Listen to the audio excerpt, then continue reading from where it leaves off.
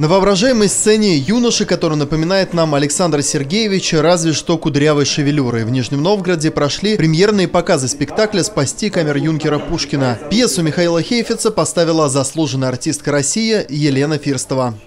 Таким необычным углом э, подавалась история дуэли Пушкина. И нам показалось, что э, вот это вот сочетание необычное, э, которое соприкасается с нашей жизнью, про нашу жизнь, про нашего человека, э, про всех, про нас, собственно говоря, про наши взаимоотношения с великими, с культурой и про то, насколько вообще эта культура сейчас вообще востребована.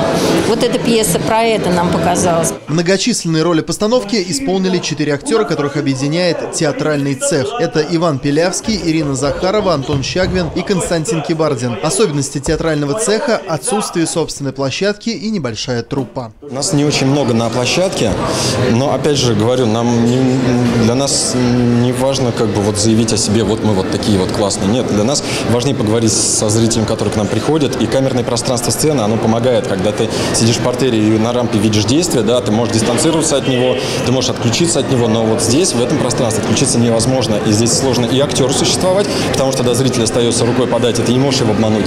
Здесь и сложно зрителю, невозможно отвлекаться практически, потому что невозможно выключаться из представления, ты продолжаешь все переживать, ты продолжаешь находиться вот в том, что разворачивается на твоих глазах.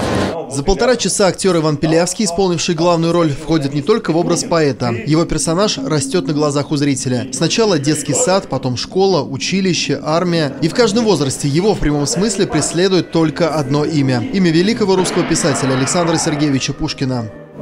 Да, почти половина моего дома учится. Мне еще одну остановку плюхать ради Пушкина?